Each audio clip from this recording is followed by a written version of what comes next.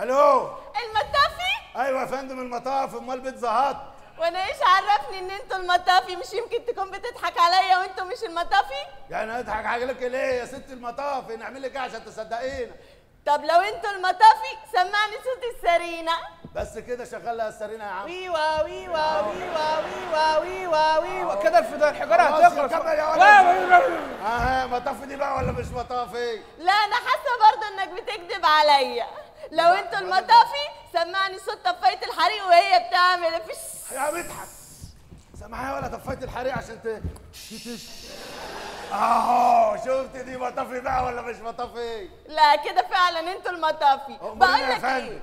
عندكم مية؟ عندنا مية وخراطيم وعربيات و... تحب نبعت نيجي نطفيك عندك ولا نبعتهم لك دليفري ولا تيجي تطفي هنا يعني؟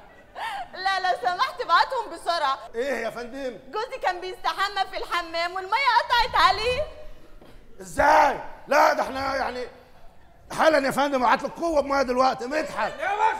روح يا عم ابعت لهم عربية مية. ابعت لهم عربية مية ولا أنا على قوة أنا حال. انت انت